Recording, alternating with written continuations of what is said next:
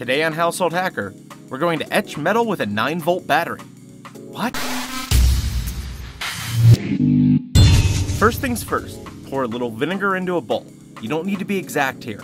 Next, add some salt and mix it in until it's blended really good. Now I've decided to etch a knife, so let's break out that little beast. But keep in mind, any metal will work with this process. We're gonna wanna apply a makeshift stencil so the acid in the vinegar burns away enough of the metal to make a cool design. We went ahead and printed out our logo and slowly cut around it with some duct tape to seal in the rest of the blade.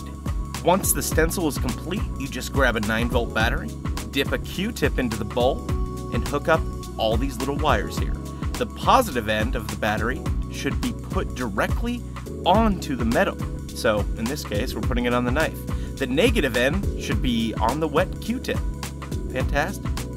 Alright, it's time to party. Just evenly apply the vinegar to the blade.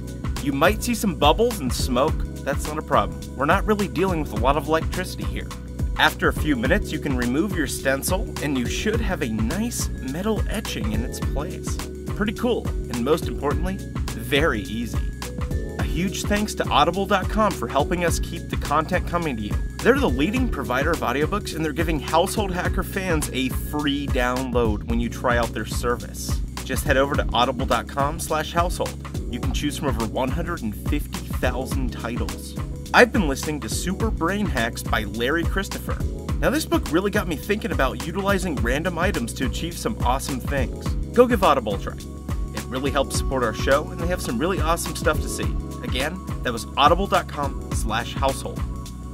We'll see you next time, and be sure to share this with your friends. Who doesn't want their own branded butcher knife?